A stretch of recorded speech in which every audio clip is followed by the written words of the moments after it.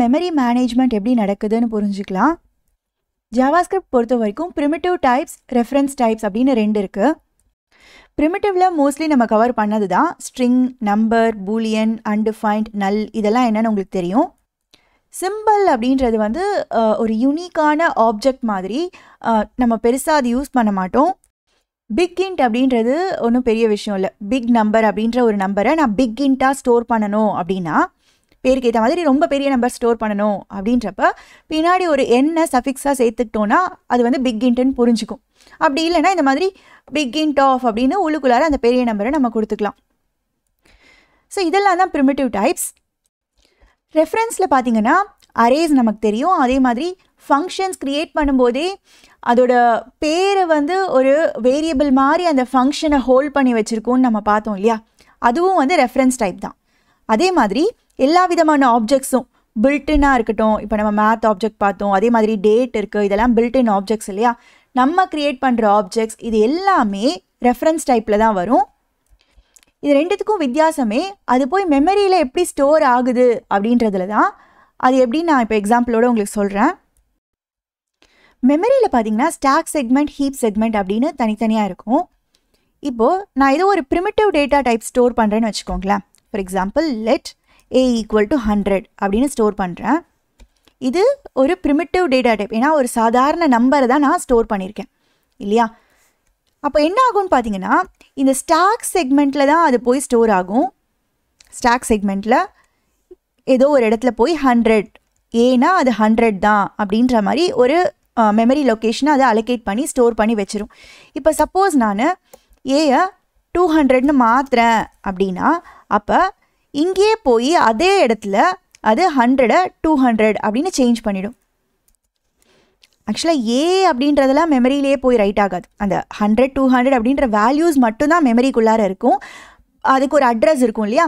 So ஏனா இந்த address தான் அப்படின்றதெல்லாம் அது ட்ராக் பண்ணி வச்சுருக்கோம். ஸோ அந்த அட்ரஸில் போய் அது வேல்யூவை மாற்றி விட்டுரும். இதே மாதிரி தான் எந்த ப்ரிமிட்டிவ் டேட்டா டைப்பாக இருந்தாலும் ஸ்டோர் ஆகும். ஓகேங்களா ஒரு நம்பர் தான் இப்போ நம்ம எக்ஸாம்பிள் பார்த்தோம். ஸ்ட்ரிங்காக இருக்கலாம் பிக் இன்ட் பூலியன் சிம்பிள் இது எதாக இருந்தாலும் இதே மாதிரி ஸ்டாக் செக்மெண்ட்டில் தான் போய் ஸ்டோர் ஆகும். வேல்யூ சேஞ்ச் பண்ணோன்னா அந்த வேல்யூவே அப்படியே மாறிடும். பட் ரெஃபரன்ஸ் டைப்ஸ்லாம் இந்த மாதிரி ஸ்டோர் ஆகாது. அது ஹீப் செக்மெண்ட்டில் தான் போய் ஸ்டோர் ஆகும். ஓகேவா let object one equal to அப்படின்னு கொடுத்துட்டு உள்ளுக்குள்ளார நான் name Tanya and age twenty ஃபோர்னு கொடுக்குறேன்னு வச்சுக்கோங்களேன். அப்போ என்ன ஆகும்னா இந்த மாதிரி ஹீப் செக்மெண்ட்டில் போய் ஏதோ ஒரு இடத்துல name Tanya age twenty four அப்படின்ற டீட்டெயில்ஸ்லாம் ஸ்டோர் ஆயிடும் ஸ்டோர் ஆகிட்டு ஒரு பாயிண்டர் மாதிரி இது வந்து எந்த அட்ரஸில் ஸ்டோர் ஆயிருக்கு அப்படின்ற ஒரு பாயிண்டர் ஒன்று கிடைக்கும். அது வந்து இங்கே ஸ்டாக்கில் ஸ்டோர் ஆகிருக்கும் இந்த ஆப்ஜெக்ட் ஒன் அப்படின்றது இந்த அட்ரஸில் தான் இருக்குது சே ஃபார் எக்ஸாம்பிள் சும்மா ஹேஷ் ஹேஷ்னு நான் கொடுக்குறேன். அந்த அட்ரஸில் போய் பாரு அப்படின்ற மாதிரி இங்கே அது ஸ்டாக்கில் ட்ராக் பண்ணி வச்சுருக்கும். ஆக்சுவலாக இது வந்து இங்கே இருக்கிற இந்த அட்ரஸை பாயிண்ட் பண்ணிக்கிட்டு இருக்கும். ஓகேவா இப்போ முக்கியமாக let B equal to A அப்படின்னு நான் சொல்கிறேன்னு வச்சுக்கோங்களேன். அப்போ நான் என்ன சொல்கிறேன்னா ஏல என்ன இருக்கோ அதையே பிலையும் ஸ்டோர் பண்ணிடு அப்படின்னு சொல்கிறேன் இதை பார்த்தோன்னே எக்ஸிக்யூஷன் அப்போ அது என்ன செய்யும்னு பார்த்தீங்கன்னா இங்கே தனியாக பிக்குன்னு ஒரு இடத்த ஒதுக்கி அதில் போய் டூ ஹண்ட்ரட் அப்படின்னு ஸ்டோர் பண்ணும் பியை நான் இப்போது த்ரீ ஹண்ட்ரட் அப்படின்னு மாற்றினேன்னா பி இங்கே தானே இருக்குது பியில் மட்டும் போய் அது த்ரீ ஹண்ட்ரட்னு மாற்றும்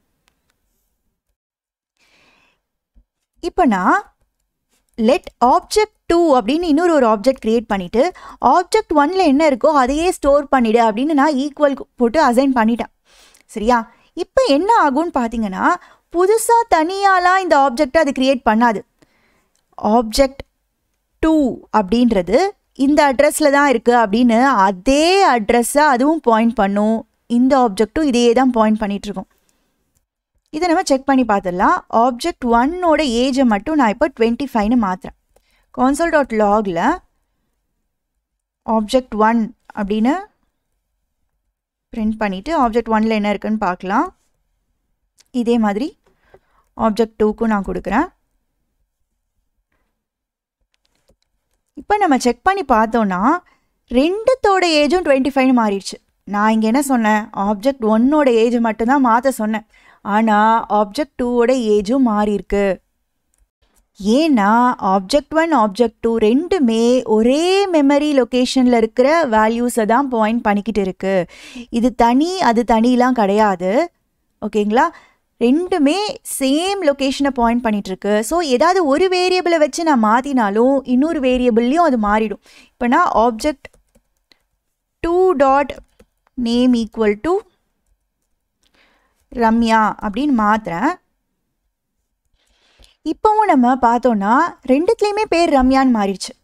ஏன்னா ரெண்டுமே ஒரே லொக்கேஷனில் தான் பாயிண்ட் பண்ணிகிட்ருக்கு சும்மா ஆப்ஜெக்ட் ஒன் ஆப்ஜெக்ட் டூன்னு வேறு வேறு பேர் தான் வச்சுருக்கோமே தவிர அது ரெண்டும் தனித்தனி ஆப்ஜெக்டே கிடையாது. இதுதான் நீங்கள் ரெஃபரன்ஸ் டைப்பில் நல்லா புரிஞ்சுக்கணும்.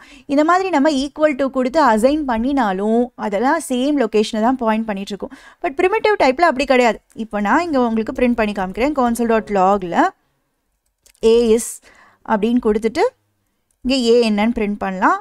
அதே மாதிரி பி என்ன அப்படின்றதையும் நம்ம பிரிண்ட் பண்ணி பார்க்கலாம்.